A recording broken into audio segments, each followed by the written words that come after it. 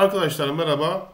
Geçen hafta SPK bülteninden 5 tane şirket bedelsiz sermaye artışı için onay almıştı. Bunlardan ikisi bedelsiz tarihini açıkladı. Türk Traktör ve Ahgaz açıkladı. Şu anda da burada da gördüğünüz üzere Killer Holding anonim şirketi bedelsiz sermaye artışının gerçekleşeceği tarihi açıkladı. Geriye de kalan sadece Al GYO ve Dinamik ısı var. Hemen bakalım. %150 oranında iç kaynaklardan bedelsiz pay alma oranı şirket açıkladı. 6. ayın 7'si 2023 borsada işlem gören tipteki payların hak sahiplerinin belirlendiği tarih. Tekrar söylüyorum bu tarihe her zaman bir gün öncesini baz alıyoruz. Bu şirkette açıklamalar kısmına yazmış. Bedelsiz pay alma hakkı kullanım başlangıç tarihi 6. ayın 6'sı 2023 olarak belirlenmiştir. Yani yarından itibaren bedelsiz sermaye artışı gerçekleşmiş olacak. Burada da daha önceki ikazlarımı yapıyorum. %150 oranında bedelsiz sermaye artışı eğer elinizde lot altı dediğimiz yarım hisse kalmasını istemiyorsanız çift rakamlı, çift haneli e, rakamlar elinizde tutmanız gerekiyor. Şimdi arkadaşlar Killer Holding'in bu ilk bedelsiz sermaye artışı daha önce temettü de vermedi, bedelsiz de vermedi. Zaten yeni halka arzlardan bir tanesi. FinTables karnesine baktığımız zaman karlılıkta 6'da 3 ortalama bir karlılığa sahip.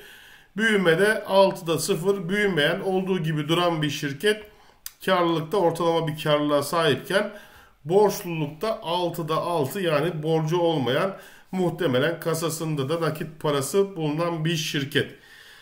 Şu an itibariyle 36 lira 44 kuruş e, fiyatı var. Şimdi arkadaşlar bu şirketin bilgilerine baktığımız zaman da Ümit Kiler'in %28.33, Vahit Kiler'in %28.33, Nahit Kiler'in %28.33, %5.47 oranında tacirler portföy serbest özel fonun e, hissesi payı var burada. %9.54 oranında da hemen şurada da görebilirsiniz. %14.99 oranında fiili dolaşıma sahip. Yani bu şirketin %15'i halka açık. Şirket bilgilerine geldiğimiz zaman da bakmak isteyen arkadaşlar için bu şirketin sahip olduğu şirketler burada karşılığında yüzde kaç payı olduğu da e, görünüyor. Oradan videoyu durdurarak bakabilirsiniz. Şimdi bu sermaye artışın akşam kapanış fiyatından gerçekleşecek. Fakat biz yine tekrar bir örnekleme yapalım. 36 lira 54 kuruş. Demin %2 civarı düşüktü. Ee, biraz toparlanmış. Herhalde haber geldikten sonra biraz ivme kazandı. 36 lira 50 kuruş diyelim.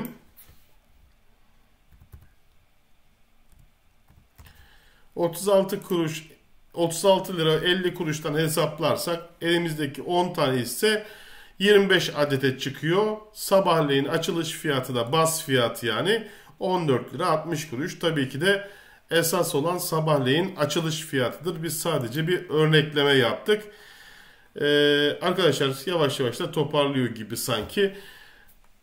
Hayırlı olsun alana, tutana ve alacak olana tekrar hatırlatayım. hatırlatayım. Elinizde küsurat yani yarım hisse bulunmasını istemiyorsanız 2 ve 2'nin katları e, lot bulundurmanız gerekiyor. Tek lot kalırsa elinizde küsuratlı lot kalacak. Bence yazık ben e, bulundurmamaya özen gösteriyorum. Görüşürüz arkadaşlar.